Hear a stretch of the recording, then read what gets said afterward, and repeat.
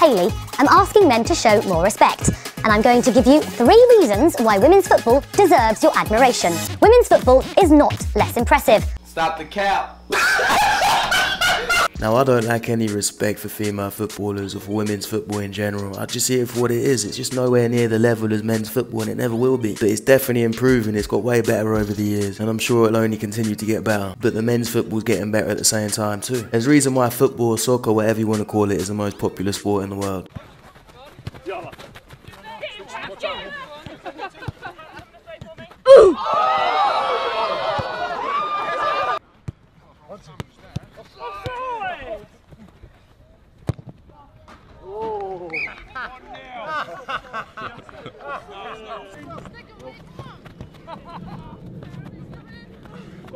Ooh.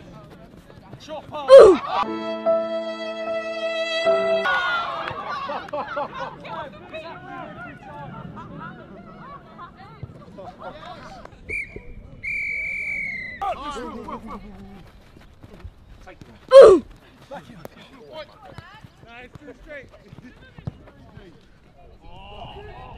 Go off now! Come on, bro!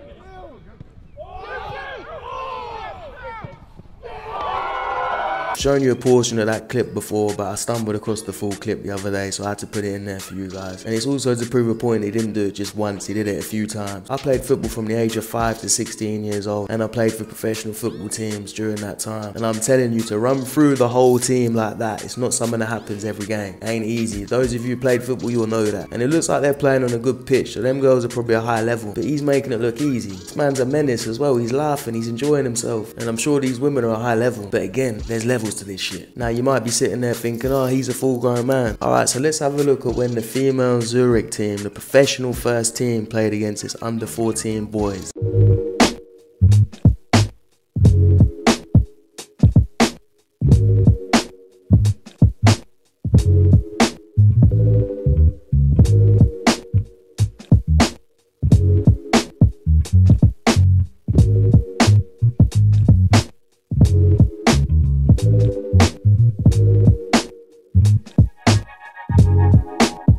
Just so you know, at that time, that female Zurich team was the best in their country, best in their league, and they got absolutely smashed 6-1 by 14-year-old boys. And that's not to take the piss out of them, that's just the reality. Anyway, I think that covers it for the football. Let's move over to basketball.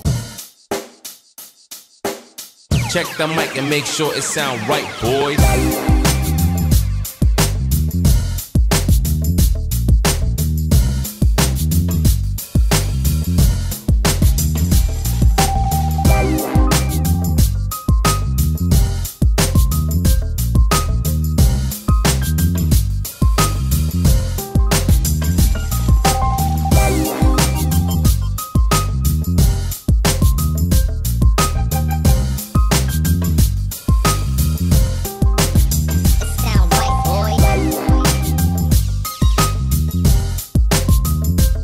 Think the biggest compliment you can give to a female athlete when you're competing with her is to not give her an advantage and not treat her differently to a man. Otherwise, it's kind of patronising, right? If you're only going 50% in just because she's a woman. And these guys were obviously asked to do that, and I don't think the girls even got the ball once. Even that woman on the bench was embarrassed for them.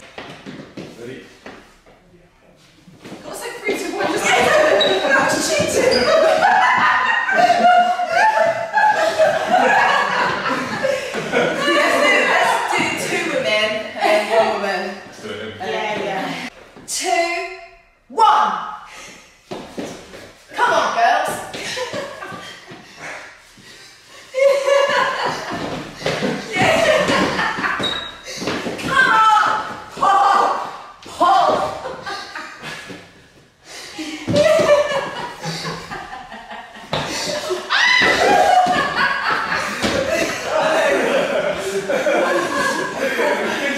Those women there, to be fair, look really strong, look in really good shape. I don't think three average women would have actually been able to beat him. And that's a compliment to those women. Even when it was just two of them, they held on for quite a while. But again, look at the difference in strength. And she said after we'll only do one. They didn't do one. They did no more after that.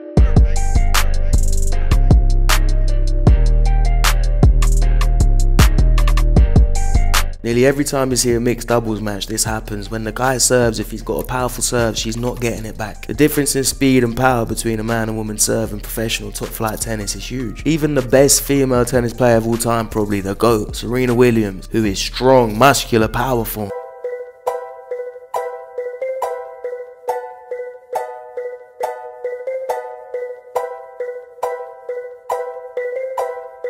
Serena Williams and Venus Williams are like the female goats of tennis. I know there's some other ones. I'm not a huge tennis fan, but I think a lot of us know that. And people used to say that they could beat men or they could compete against the men, so they even tried this. A quarter of a century after King beat Riggs in the Battle of the Sexes, 203rd ranked German Karsten Braasch beat Serena Williams and Venus Williams back to back at the 1998 Australian Open. He's 203rd ranked and he beat maybe two of the best female tennis players of all time back to back. Now, I'm not trying to female athletes. I'm not trying to take away the greatness from some of these athletes like Serena Williams, Venus Williams. They've done things that most human beings couldn't do. All I'm saying is that there's a difference and pretending there isn't is unrealistic. There's actually other sports where women are better at men, usually when it comes to flexibility. Women are better. Anyway, I'm to end this video with this last clip and I think the title is pretty fitting. It's called The Reality of Biology. And I think there's a lot of people out there that need to accept that.